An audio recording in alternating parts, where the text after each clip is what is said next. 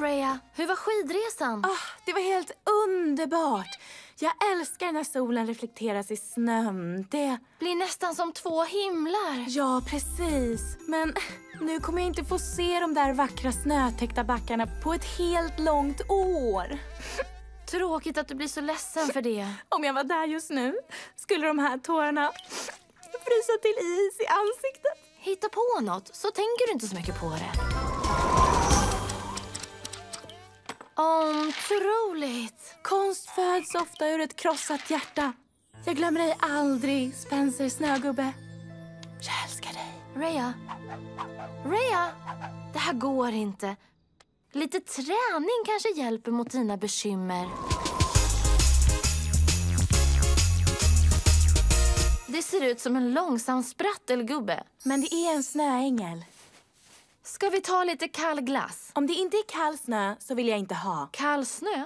Ja, det är klart den ska vara kall. Vilket påminner mig om att jag inte är i backen längre. Jag kommer strax. Smält inte.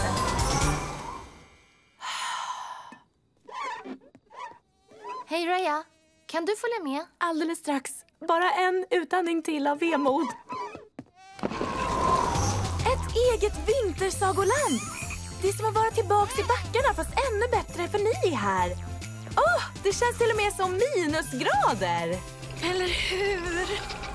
Har ni gjort allt det här för mig? Självklart, vi älskar dig. Det enda som saknas är snö. Mm, fast vet du? Åh, kall snö! Vi har gjort en snögubbe. Eller typ. En burkgubbe. Vi återanvände några burkar vi hade. Jaha, det är helt galet! Underbart! Spencer burkgubbe! Sitter fast. Åh oh, nej! Det var faktiskt en snygg färg på dig. Tack. Tack, så mycket.